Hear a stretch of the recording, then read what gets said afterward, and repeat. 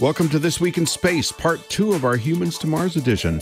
We'll be looking at NASA's more recent Mars plan, a message to ET, and one big rock headed our way. Stay with us. Podcasts you love. From people you trust. This, is Twit. This is This Week in Space, episode number eight, recorded on April 22nd, 2022. Humans to Mars, part two. This episode of This Week in Space is brought to you by Blue Land. Sometimes, in order to go green, you've got to get blue first. Blue Land, that is. Blue Land was founded on the belief that a cleaner planet starts by reducing waste while creating powerful, effective cleaners for your entire home. You can get 20% off your first order when you go to blueland.com slash space. And by IT Pro TV. IT Pro TV has everything you need to level up your IT skills while you enjoy the journey. Visit itpro.tv slash twit for an additional 30% off all consumer subscriptions for the lifetime of your active subscription when you use code TWIT30 at checkout. Hello and welcome to another episode of This Week in Space, the Humans to Mars Part 2 edition. I'm Rod Pyle, editor in chief of Ad Astra Magazine. I'm joined by my hypersonic partner, Tariq Malik of Space.com. How are you today? Hello. Tariq? I'm doing well, doing well. Ready to go to Mars again, part two. Ready to go to Mars if only you can get done at the bank first, yeah?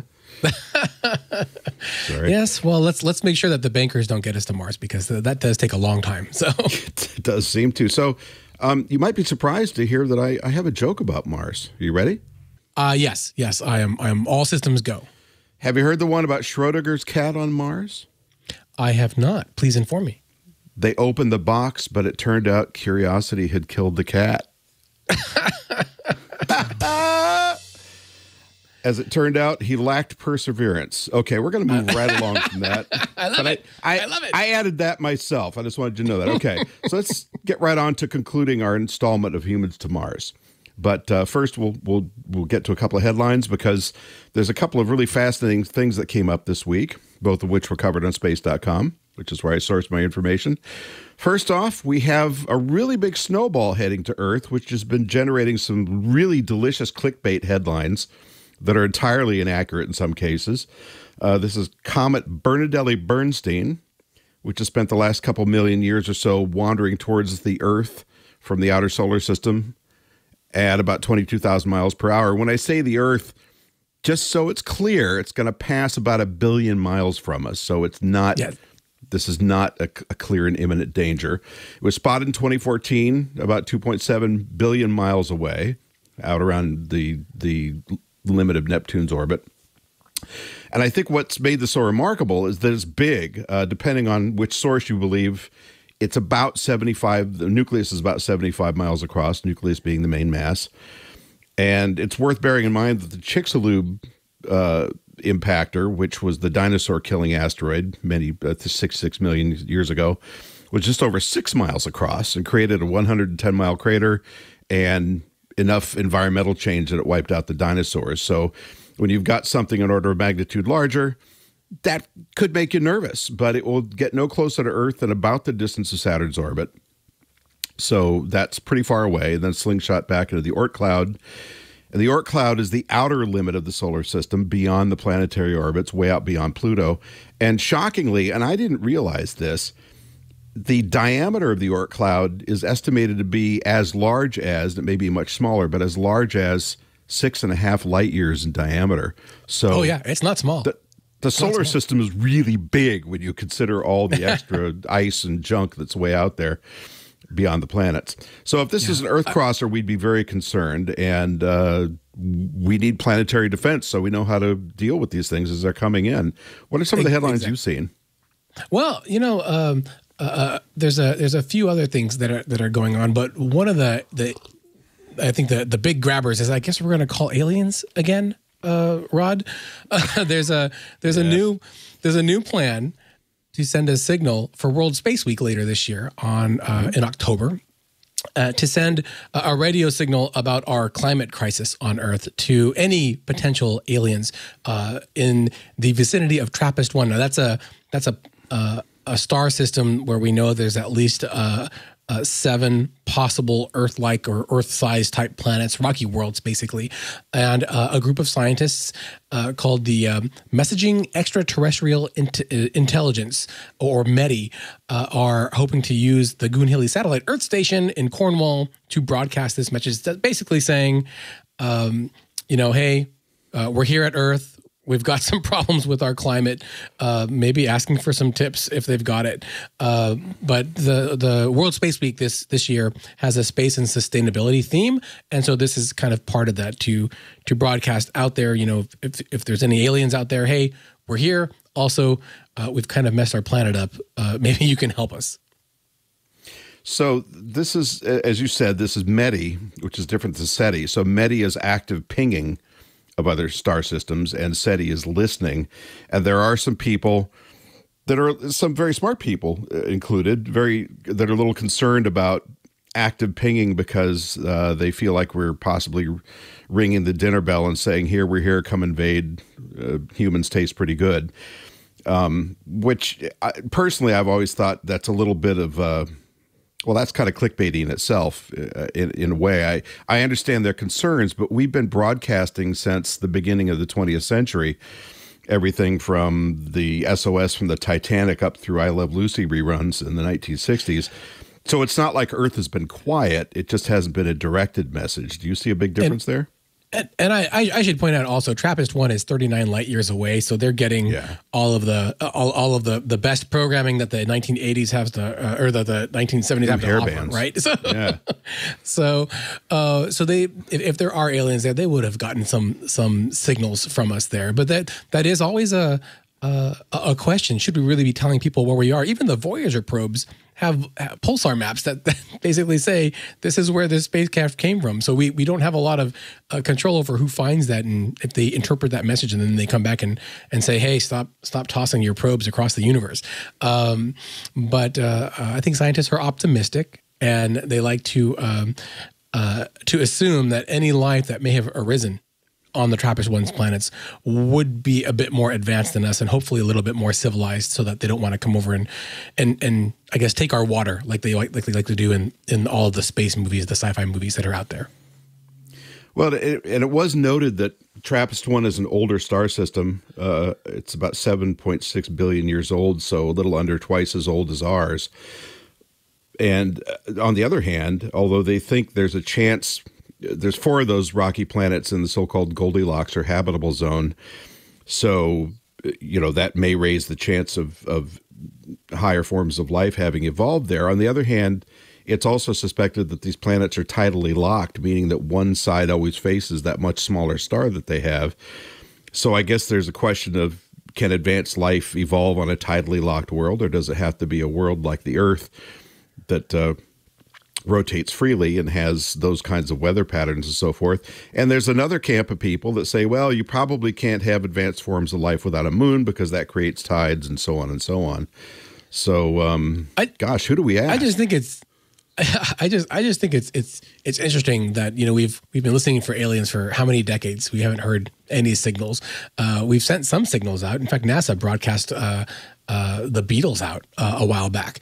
Um, but but as as as one of the METI scientists, Doug Vakoch, mentioned, he says um, in transmitting this this Earth climate change uh, uh worry that we've got, uh, that our our candid self reflection may just be intriguing enough to prompt a response. Is, is that's a, a quote for for why they want to use this as the term to kind of show that we're we're uncertain about the stability of our planet, and we we probably uh-huh. want to.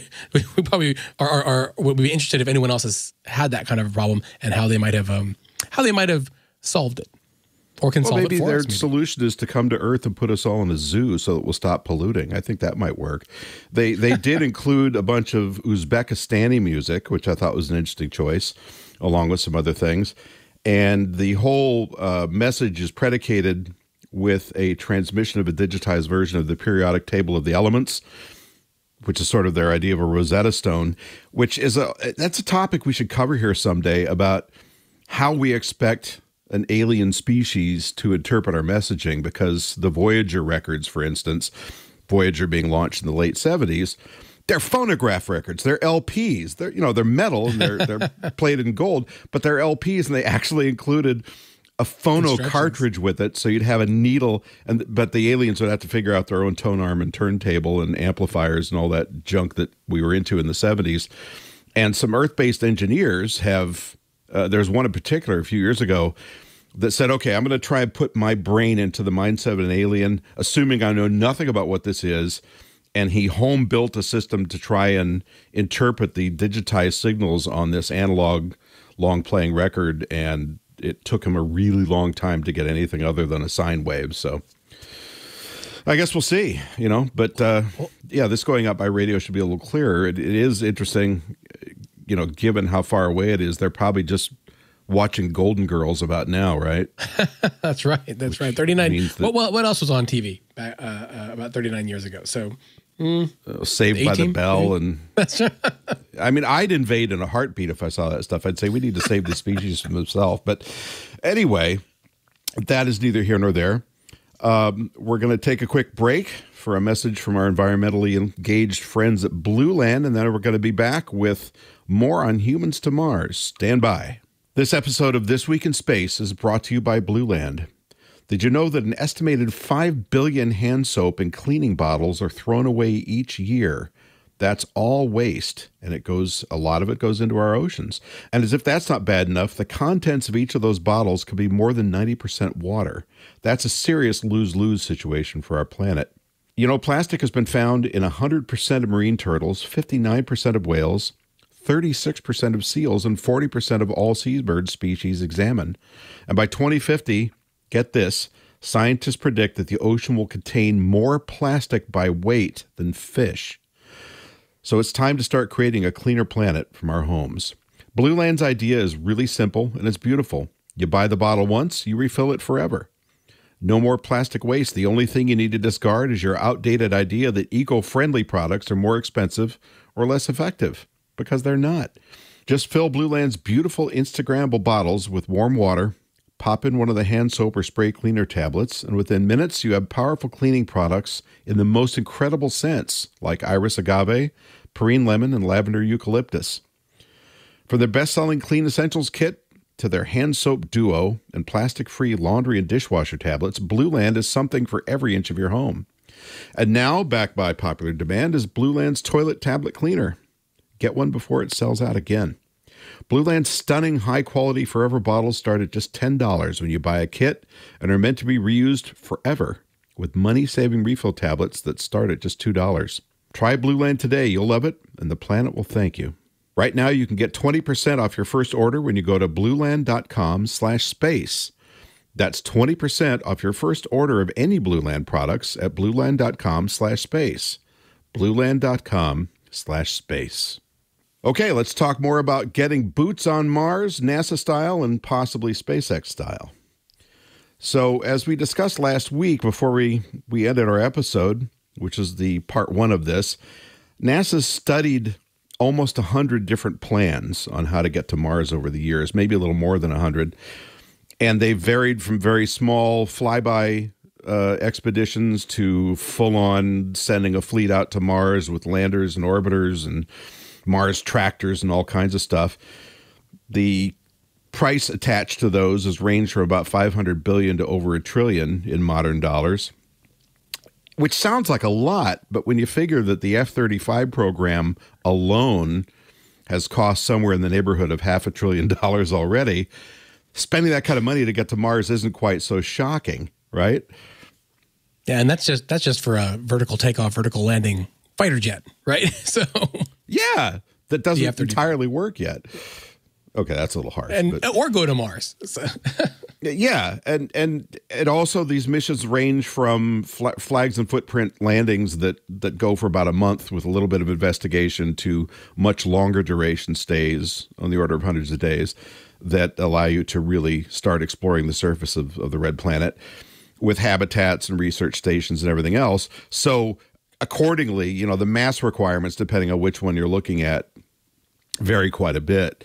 Um, personally, uh, I think that the first time out probably ought to be a sortie or an expeditionary style mission where you go and spend enough time there to figure it out and then come back before anything goes wrong. On the other hand, it's a lot of effort and technology to get there. So you kind of want to stick around. And you can only launch every 26 months. So if the first bunch gets in trouble, rescue isn't coming anytime soon. You unless you you've got some kind of advanced drive and can overcome this this need to launch at the perfect uh, perfect time of, of the two year cycle. So we we talked about opposition and conjunction class missions. Uh, one's longer, one's shorter in terms of the surface stay. The opposition class mission lets you stay on the surface. Uh, let's see, spent. Uh, sorry, the conjunction class mission lets you stay about 550 days, and the opposition class is somewhere between 30 and 40 days. So depending on who you talk to, they they like one or the other. And of course, if you're going for an orbital mission, then you're not even going down the surface, and that's been proposed as well. Um, I just wanted, before I turn it over to you, Tariq, I wanted to just quickly talk about the 1969 proposal that Wernher von Braun made. And I'm observing this because von Braun, as we talked about last week, came out with that first big study that was an appendix to his awful science fiction novel, Project Mars, The Technical Tale. That title still just gives me the shivers.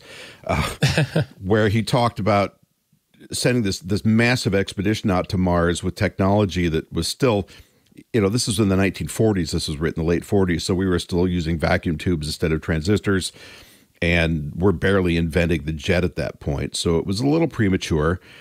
But the numbers made sense, and he very clearly stated the unknowns, such as atmospheric density on Mars and so forth. So he's and radiation. So he's really clear about things that weren't known.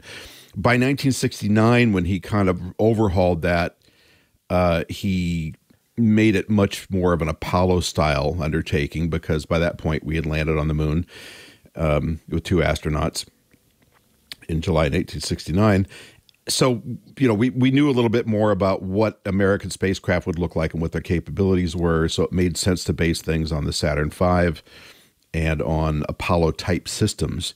So the 1969 proposal which was an update and combing out of one done the year before by boeing at, at nasa's request which is called IMIS for integrated manned integrated manned interplanetary spacecraft uh, Von Braun's revision of that would use a number of Saturn V launches or one or two Nova launches. And a Nova was a Saturn V on steroids with, I think, eight or nine F 1 engines. It was a much larger rocket.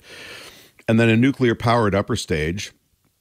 And you'd have uh, a space shuttle and a Earth orbiting space station that would be all part of the system, which von Braun loved. He was always in love with the idea of big logistics and infrastructure, which is what we're doing now, by the way. So mm-hmm. it was fairly mm-hmm. prescient of him. But uh, the idea would be that you'd launch this with a chemical rocket. The transit to Mars would be made a little faster with a nuclear powered rocket. We talked about NERVA before. And then you'd have your extended stay on Mars and come back and do probably the hardest part of this, as difficult as it would be to land on Mars, equally as hard is getting Earth reentry right because you're coming back really fast. As I recall, it's what like double or triple the velocity coming back from the moon. The moon, yeah. Um, in the von Braun plan, two ships would travel out in tandem, which was a lot smaller than his earlier 1940s, 1950s idea of 10 ships, but he liked the idea of having some technological backup in case one of them went bad. And uh, it would have 16 robotic probes, uh, because this would also go past Venus on the way out, by the way, because that gives you a, a gravity boost to sling you out to Mars at higher velocity. So they would have four of these robotic probes to drop at Venus on their way around, and then 12 sample return probes to drop at Mars before you came back. And uh, depending on, on which of these mission studies you look at, they either would or would not have landers. So you've got this Earth, Mars, Venus to slow down back to Earth, or Earth, Venus, Mars. There was a variety of, of ways you could go about this. The common element was they were all complicated, they're all expensive, and they all took a really long time. And and Rod, Rod, did did they carry all the fuel they would need forever? On for that plan? Yeah, is, is that that was like the the, the big uh, uh, takeaway? They're going to take all the prop they would ever need, uh, right, and not make it on Mars. Fuel on Mars thing. Yeah, because that wasn't really. I mean, it was understood at that point that it was theoretically possible, but I think von Braun, being a very conservative engineer, said, "Look, you know, we don't want to count on that." And that's that. It, you know, it's interesting you bring that up because that's still a big consideration. We're talking now about missions where we plan to pre-position technology on Mars robotically, and a big part of that is making fuel and breathable oxygen for the crew. But you got to make sure that's working before you send the crew out there, right? Because if Yeah, they get there I- I and was- find, you know, they open the tap and there's one drip of water, they're in trouble. I was Um, really surprised, really surprised that that there wasn't a consideration to to cut down on costs so that you could have smaller ships. But I guess, you know, in in, in the late '60s, everything was was supersized, and they just wanted to keep making ships bigger and bigger with the technology that they had. So, um, you know, we're going to talk about the NASA's kind of current plans, and that is not the case at all. They're not. They don't want to take everything they're going to need. They want to make it there, um, and that's been around for some time in different different different forms. Yeah, and I think part of the problem in the 60s was ro- robotics were not very advanced or very reliable, which is why we were still talking about doing these flyby missions and, and dropping robots as you swung around the planet in a matter of hours because you could control them locally. And if you had five or six or eight of them, you hoped a couple of them would work, right? Even though they were still hoping to drop a probe that would land on the surface, gather rocks, and bring it back up to the ship slinging by in orbit at many thousands of miles per hour and rendezvous and bring it home. And our experience with spacecraft out at Mars has been about 50 50 in terms of success. So chances of that working were probably not great.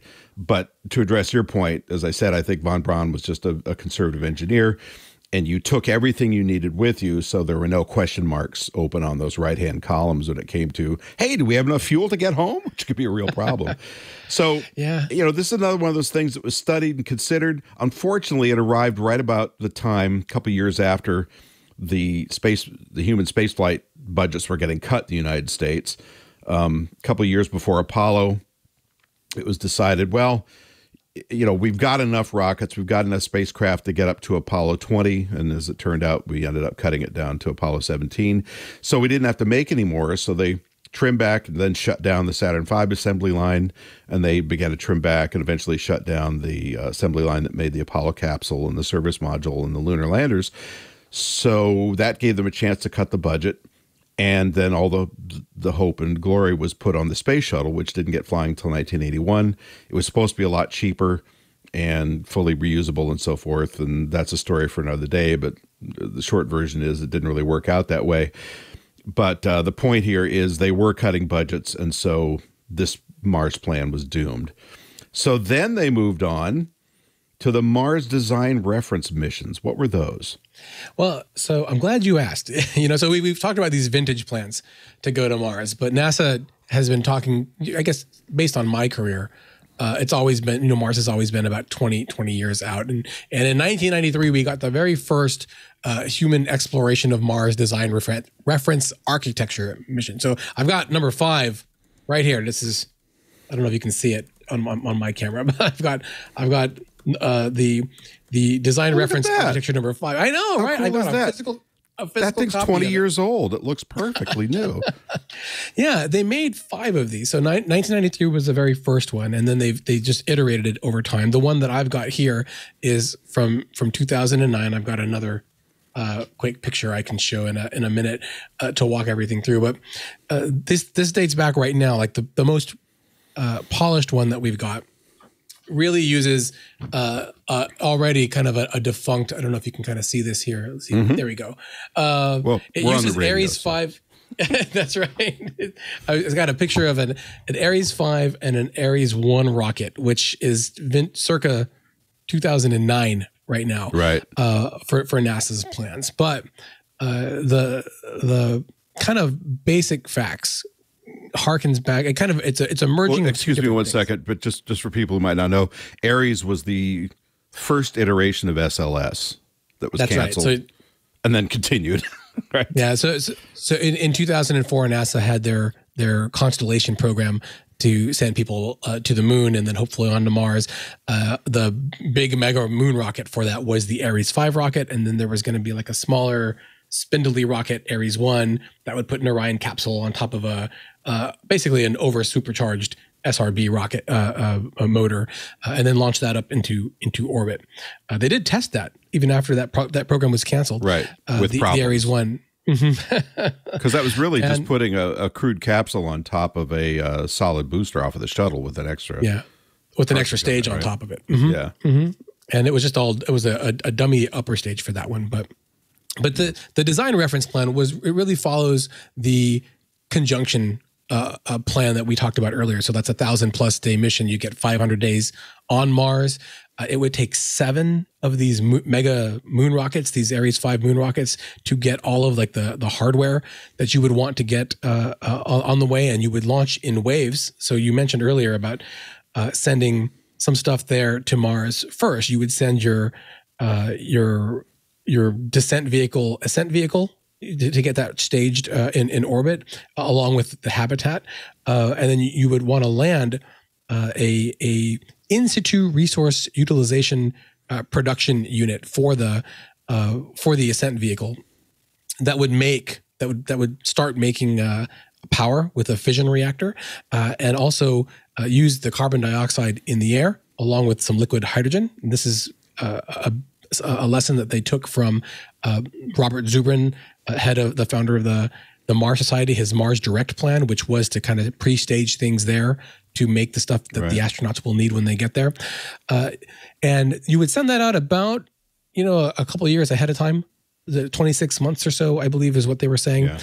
Uh, so that that would be at mars and making the fuel making the the oxygen that the astronauts might need. And then as you get closer to your next launch date and this would that was your your first four cargo launches of the the big rocket. That that's that big stage there.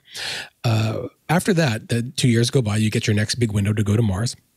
And you would launch uh, three, three more of those those mega moon rockets to build in orbit the actual transit vehicle that uh, the astronauts themselves are going to use, uh, and then your separate crew vehicle would go up there and, and then dock. So you've got your habitation module, uh, your propulsion module, whatever supplies they're going to take, uh, and then they would go to Mars. But before they go, they would want to make sure that they check the tanks on that that kind of, that kind of factory that they landed to say, Right. hey, is there enough is there enough air now there for for the astronauts to uh, uh, to, to breathe that they're going to need for the duration of these 500 days or so that they're going to be on Mars? Is there enough uh, uh, liquid oxygen to both use as air or as fuel for the the ascent vehicle?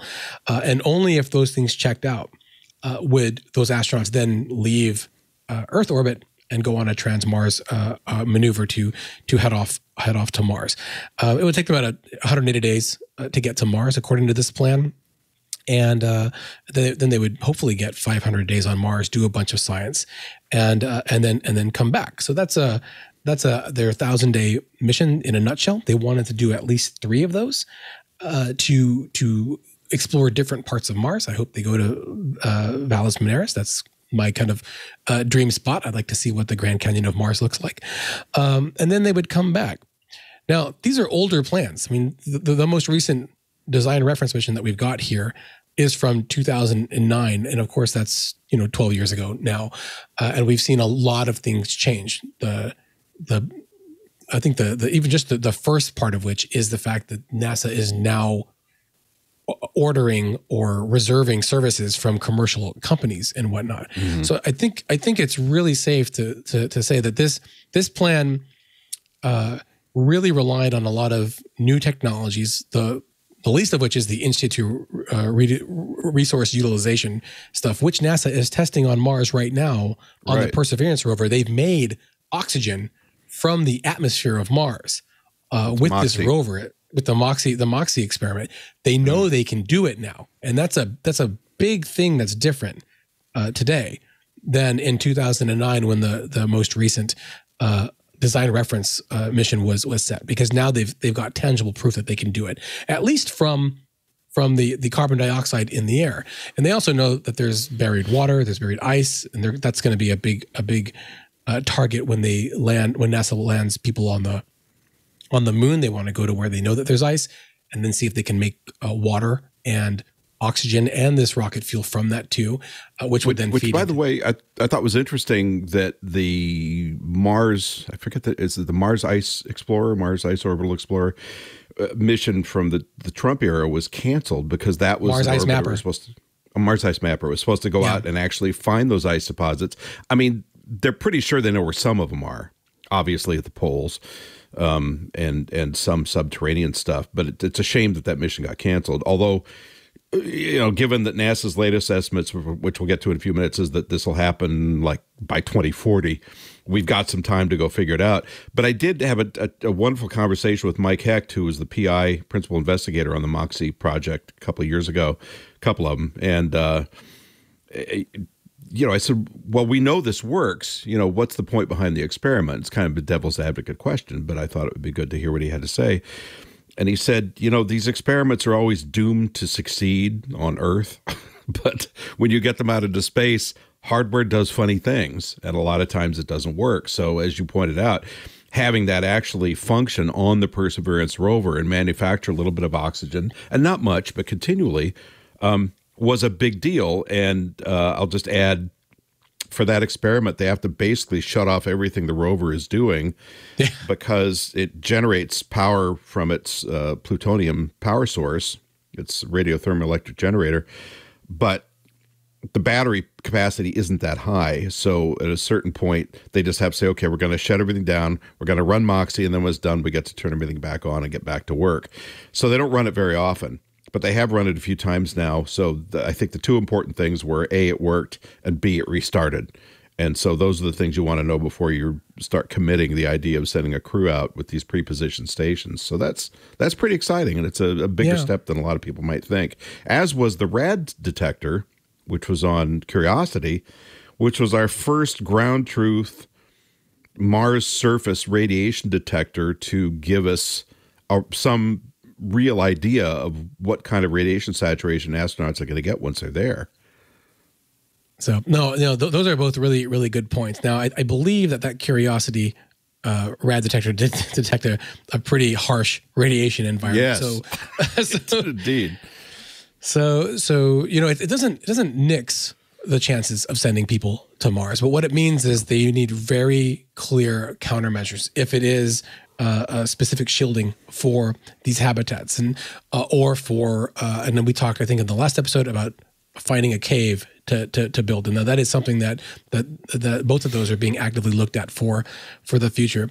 But the, I think one of the key things I wanted to bring up about this design reference mission is while, uh, you know, while it was fairly ambitious for, for its time, you know, you've got all of these big missions. NASA did refine it to kind of whittle it down to the bare essentials, uh, for what, uh, even a smaller crew might need. I think what we're going to see in you know if NASA is successfully able to get the funding they need and the um, the uh, technical challenges they need to keep people in good health in that harsh radiation environment, not just on Mars, but on the trip to Mars. Um, because the one of these things that, that this design reference mission does not include is how you make sure that the astronauts' bodies are healthy. Now, NASA has a lot of experience with the International Space Station on that. Uh, they exercise two hours a day. They take uh, uh, some some expensive. some some vitamins. Ex- exactly. Um, Robert Zubrin in the Mars Society, they they plan to spin uh, their their habitation module up to one G, so those astronauts would have uh, a bit more.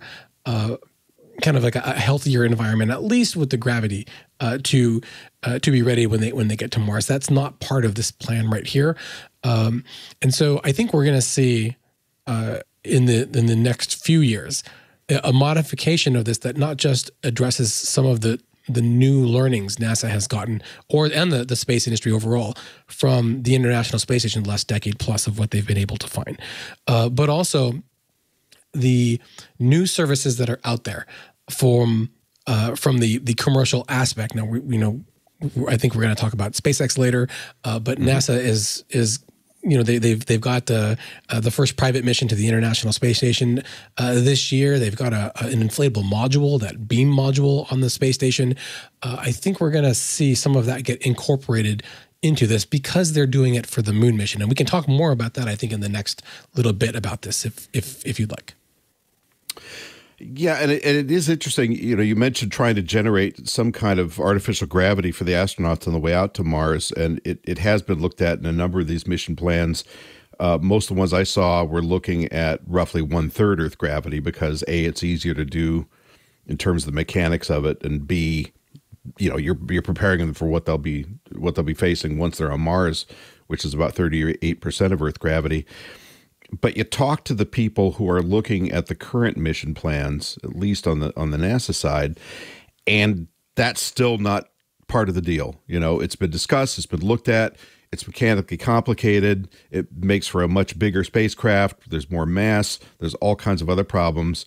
So they're working a lot harder on mitigating radiation with pharmaceuticals and uh, sorry, not mitigating radiation. They're working a lot harder on the gravity problem with pharmaceuticals and and exercise and so forth, which, as you point out, has been researched a lot on the ISS.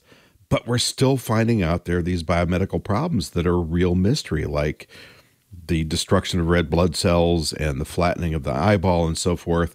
So, if they're not going to have some kind of mechanical centrifuge on there to generate some degree of, of gravitation for these guys, they're going to have to do a lot more work on that before they commit people to these six and seventh month transits. Um, so I guess in in some, I'd, I'd say that the design reference architectures, and to an extent what we're looking at now, is kind of an ongoing story of increasingly austere planning, mass reduction, and how to refine this government contracting situation with the companies that build these things so that the prices don't end up tripling and quadrupling by the time they're done. So by the time 2010 came around, when the shuttle had been canceled and Constellation was done, um, we began talking about the asteroid redirect and, and then asteroid rendezvous. Sorry, and asteroid rendezvous first, then asteroid redirect missions, which were going to either visit an asteroid or bring a chunk of one home to look at it with astronauts, which didn't really get off the ground. But at the same time, NASA had this ongoing conversation about, quote, the journey to Mars, unquote, which is my favorite gra- NASA graphic ever because it looks like a big red tentacle sort of spiraling from Earth to Mars. And each of those is a different, you know, a cargo delivery mission and a crew delivery mission and so forth. It was the weirdest graphic I've ever seen them come up with. But it was that conversation for a long time. But years went by and not a lot got done about it except more studies, more conversation. And then along comes two things. One, the planning finally for the return to the moon, which does give us a little bit of infrastructure that could move us forward on the path to Mars, and the conversation around SpaceX and Elon Musk and Starship, which he is building specifically, ultimately, to go to Mars. And the great thing about Starship is if he gets anywhere near the level of production and flying and, and pricing that he talks about, you've got 100 to 150 tons of cargo ability, depending whether you're talking about Earth orbit, Moon, or Mars, with proper refueling in Earth orbit. You've got this massive freight train heading up to space every month, every week, every day in some of his his plans. Uh, with not a lot of cargo to put on it. So you'd think ultimately that would make getting to Mars a lot easier. So we'll talk about that in a few minutes. But before we, we go to a break, I just wanted to have you sort of uh, outline for us the current Mars plan as NASA sees it with the technological base they're building now. Well, uh, right right now, uh, NASA's focus is solely on its Artemis program and the moon, and what they want to do is adapt all of that uh, for uh, for the eventual trip from Mars. Now we we've we've heard that many times in the last decade, where NASA has said everything that they're developing for the moon, uh, they're going to be able to use uh, at Mars, and a lot of the infrastructure that we're seeing them uh, develop does lends itself to a, a a not so much a pared down version of the design reference plan, but one that is a bit more uh, updated uh, for for the future. So if you look at the Artemis program right now, it has uh, three major elements. Number one is uh, a space station in orbit around the moon. They call it the Lunar Gateway, uh, that is made up of commercial. Uh, uh, partnerships. So Northrop Grumman is building a habitat. Maxar is building a propulsion module. their Canadian partners are building a robotic arm. Uh, Lockheed has the the Orion spacecraft that NASA is involved in, uh, but SpaceX is also building a, a, lander for the Mars. So that's the next part is the surface operations. Um, the the lander uh, itself is the uh, SpaceX's Starship. NASA wants to get a, a second one uh, from a different commercial partner, uh, and then they're going to have to build their own uh, lunar base camp uh, system. So they've got rovers that they're they're contracting out right now for ideas. Lockheed wants to to build one. A few others. I think Sierra Space also is is throwing a hat in the ring. Um, and then for habitats, um, uh, they, they they're they're most likely going to look to commercial partners for those too. Um, and then and so those kind of three parts. You've got the landers, you've got the the commercial the commercial habitats, uh, and and the space station seem to be setting a stage for uh, how they're going to uh, modify this design reference plan uh, for uh, for a, a, a, truly I guess mid 21st century uh, uh, trip to Mars, where you're instead of having uh, this reference that everything here that I'm looking at is is designed uh, or overseen by NASA, uh, I think you're going to see uh, a version of that Gateway space station built for Mars, bigger modules, uh, more um, more flexible, expandable technologies that these companies that want to build private space stations are going to build, where NASA then be either leases those vehicles or, or even an entire Mars transportation vehicle from SpaceX or or whatnot to get people to Mars and and and back. And I think that's what we're going to see. Uh, NASA is building their own spacesuits. Uh, SpaceX is also building their own spacesuits now. Uh, and so having those you say spacesuits. Let, us make sure I mean- we differentiate. A pressure suit is what SpaceX and NASA both have now for getting to right. orbit and back. But the kind of spaces you're talking about are EVA or extravehicular EVA activity spaces. Suits that For let you go out on the surface where all the sharp sharp rocks are and stuff, right? Exactly for walking around on on on, on the moon, uh, they would look to adapt those then for for uh, for Mars. The same thing with um, with the rovers that they're going to want to build. These commercial rovers that they want to they're looking for for the moon.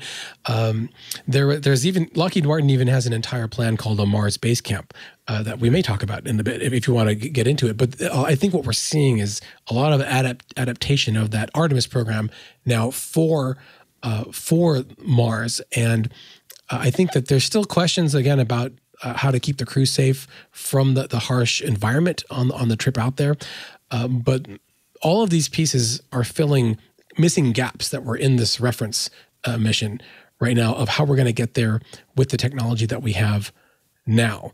And if you had asked me 10 years ago, you know, would would I think that SpaceX would be able to land on the moon, uh, let alone uh, go to Mars? I'd, I would say I, I I believe it when I see it. But the, the fact that they've they've gotten the attention to the point where they've got these contracts now, uh, not just to fly uh, astronauts to the space station, but now to land them on Mars. I think that that there is a, a lot more feasibility in these these co- uh, companies being able to actually finish that job instead of having just you know vaporware or PowerPoint presentations to show uh, how pretty their designs could be.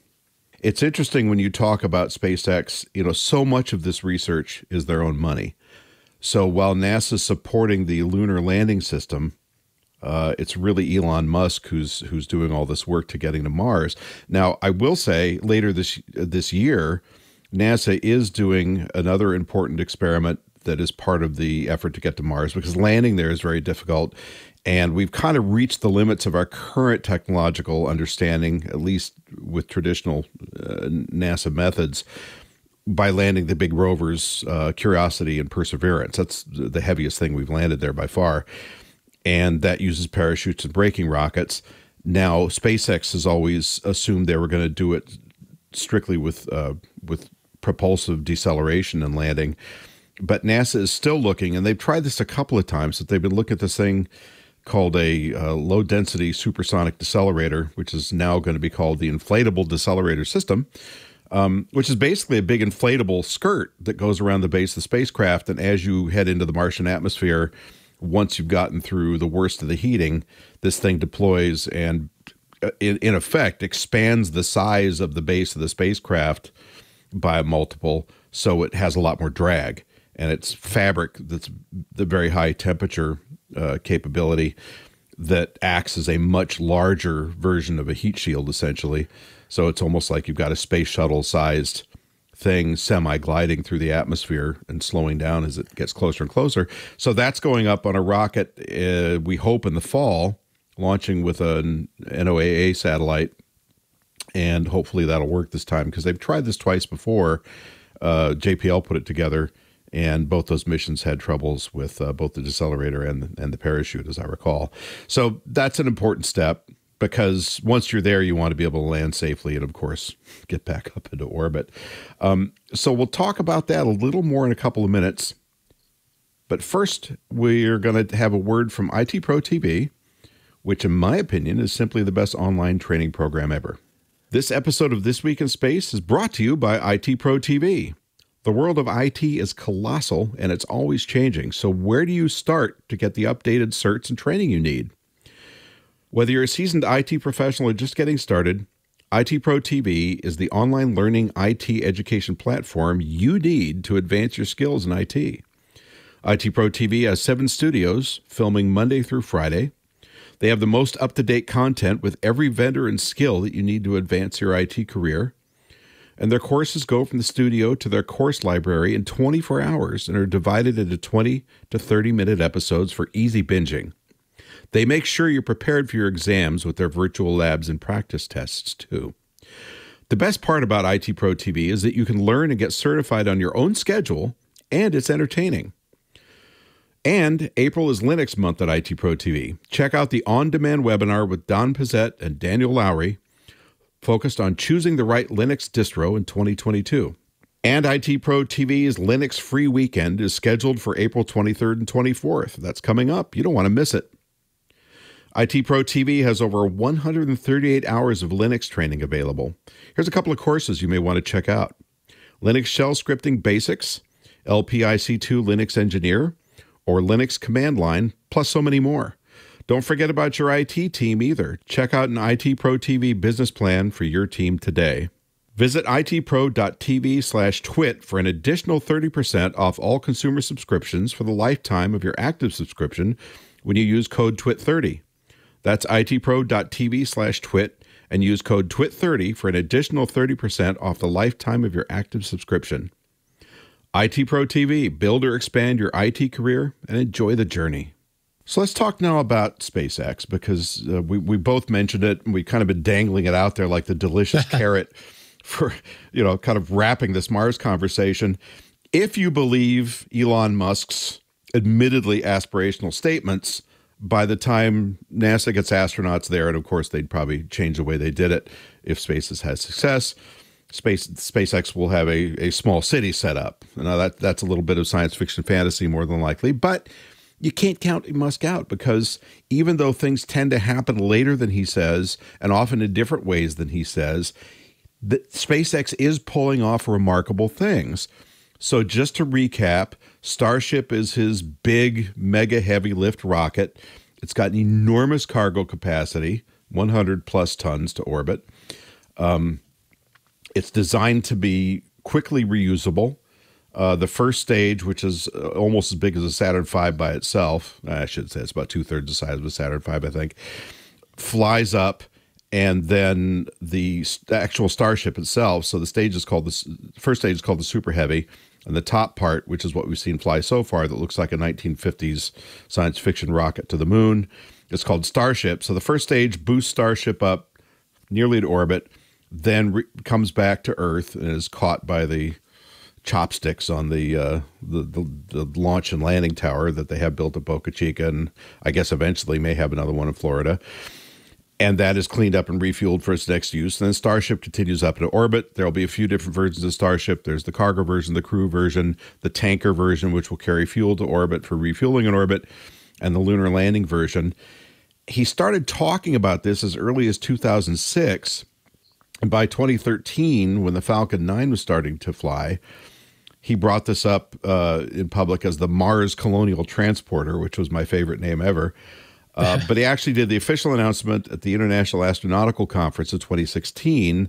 Then it was called the Interplanetary Transport System. So you know, NASA keeps the same name but keeps changing and and and bloating up the technology. SpaceX keeps working on basically the same technology but keeps changing the name instead. In the name. Right? Yeah. Uh, and the, the major change that happened between 2016 and now was that they went from making this thing out of uh, carbon composite to stainless steel. But in effect, uh, it, it's the same rocket. It's much smaller. It was scaled down by about a third, I think. But it still will be the largest thing that's ever flown into space and rapidly reusable, we, we hope, from what he said. And if this thing, as I said earlier, if this thing works, it in effect becomes a freight train to orbit and beyond. Um, so you've got this tremendous cargo capability, and at that point, you can start building up your ability to get both uh, cargo and people out to Mars much more quickly. So I guess the question is, and ultimately his goal, he says, is to colonize Mars with a million people by 2050. So the big question is, and Tariq, you watch this every day. I only look at it every month or so. How close are we to getting this first Starship tested in orbit?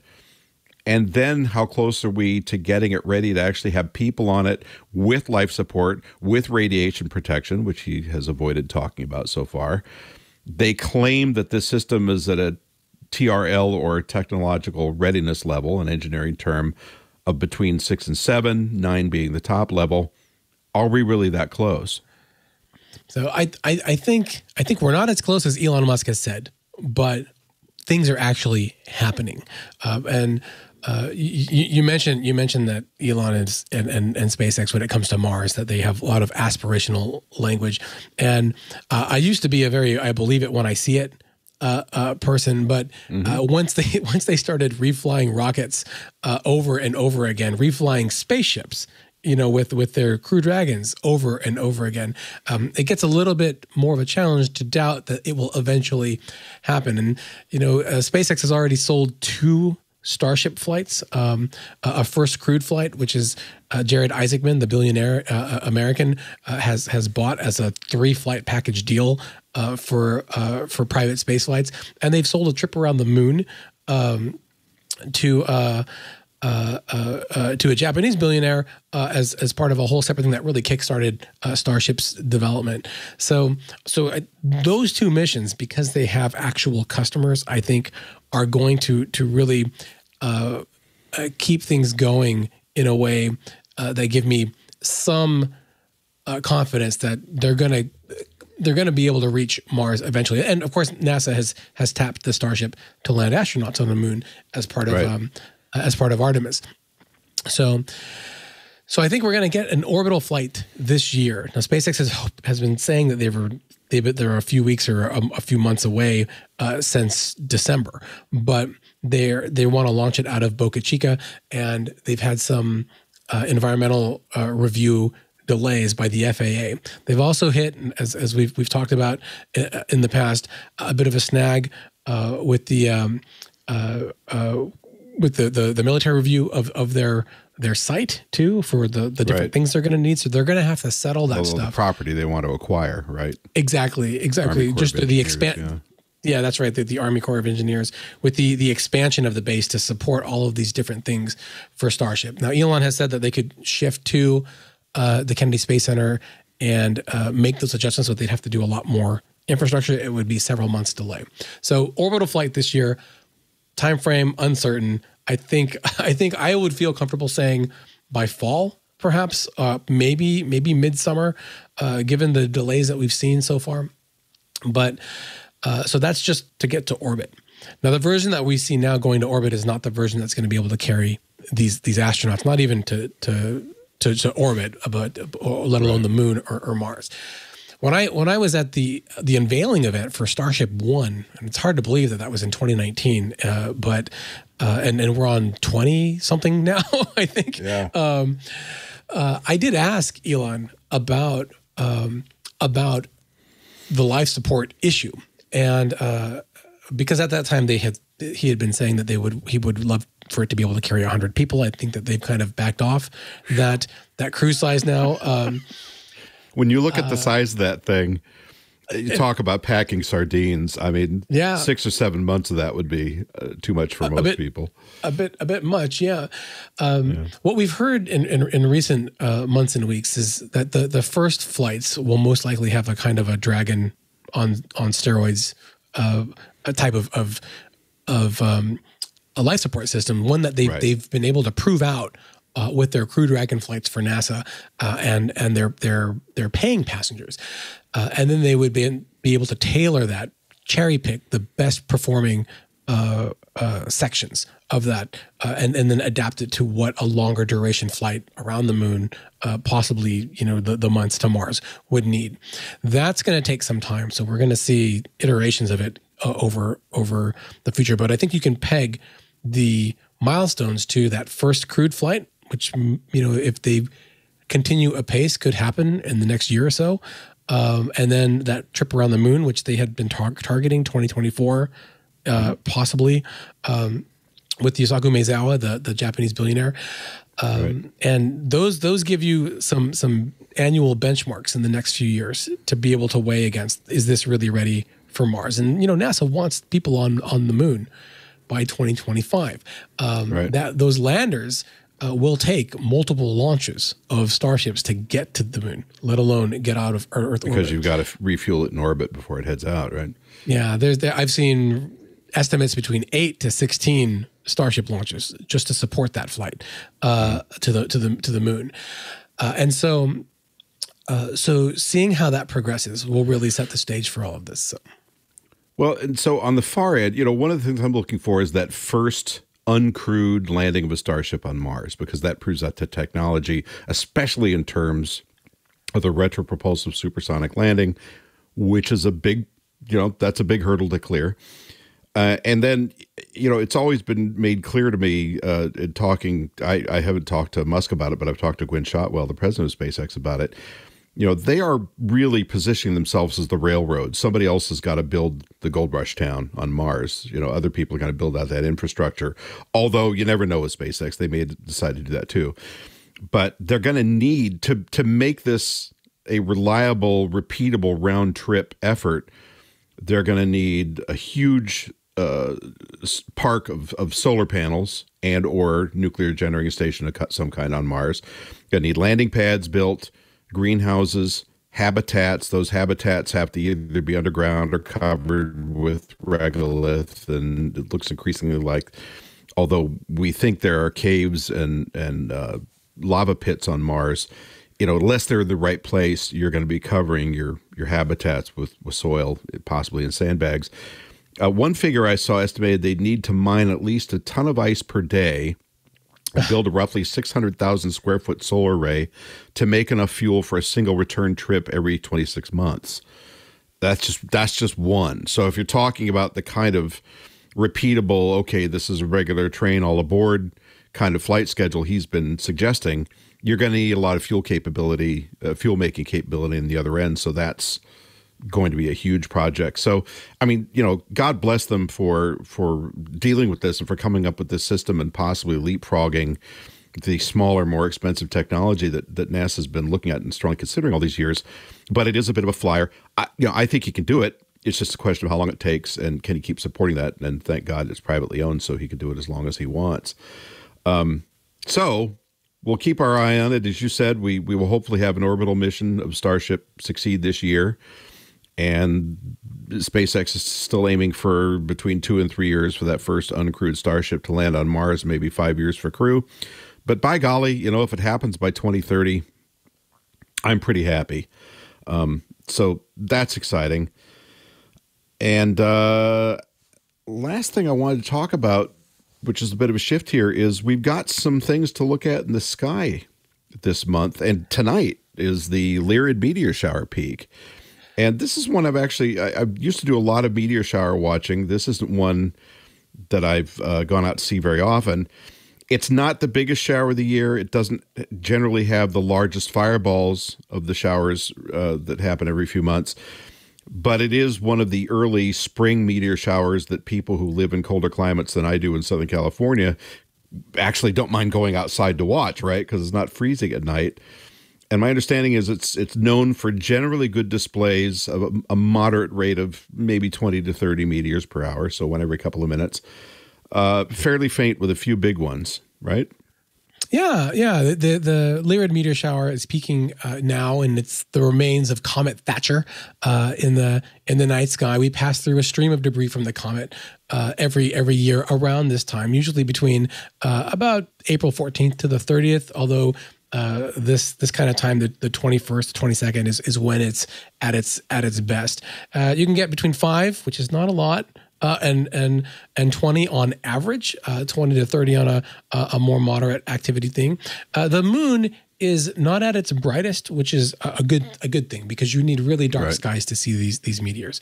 So, uh, so if you uh, the the best time that we've been told from Bill Cook at NASA to look for these is usually after midnight. That's when uh, the the activity is is is best. And you, uh, while they do radiate out of the um, the Lyra constellation, that's where they get their name, Lyrids. Right. Uh, you don't really need to look in any specific uh, direction. What you need is clear, uh, dark, dark skies away from city lights. Your street light is too bright on your street, Right. so you want to get away from that. Uh, and um, and and no clouds in the sky. So, uh, but you know, even though it will be it will be late at night, uh, a blanket and a lawn chair usually enough. And it's worth mentioning, you know, the reason uh, people have asked me when I used to work up at Griffith Observatory, people would say, why do I have to stay up so late?